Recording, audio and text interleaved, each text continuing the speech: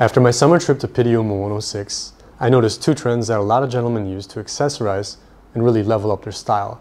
One is a pocket square, and the other is a bandana or neckerchief. I recently shared a video about pocket squares, so today I'm going to share how I choose a bandana, such as size and material, how to tie it, and some styling tips. So be sure to save this video and help me hit that like button. I have a feeling there are two kinds of guys watching this video out there. Those of you who always wear a tie but want to shed it for summer and maybe feel a little bit naked without a neck accessory. And maybe there's those of you out there that never wear a tie but want to accessorize and try something new. Well, the bandana is perfect for both of you guys. In summer, I like to wear cotton and linen fabrics, so I choose this cotton silk blended bandana. It feels light, breathable, and after folding it, it won't be too thick.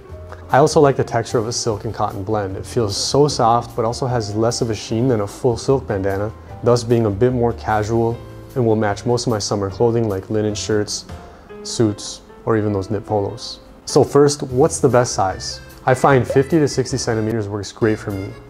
After folding it and tying the bandana and making a simple knot like this, and then again, it isn't too bulky and it's a good size which brings me to the next point.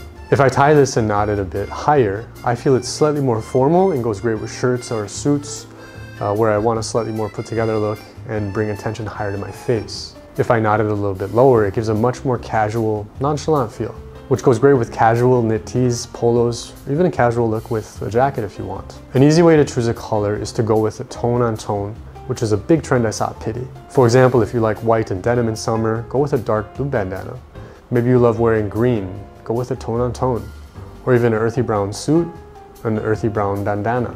Eric here chose to wear a red bandana which contrasts with the blue shirt, but has harmony with the jacket color. Please feel free to share your styling or suggestions in the comments with me and our other viewers. Thank you so much for watching and see you next time. Bye.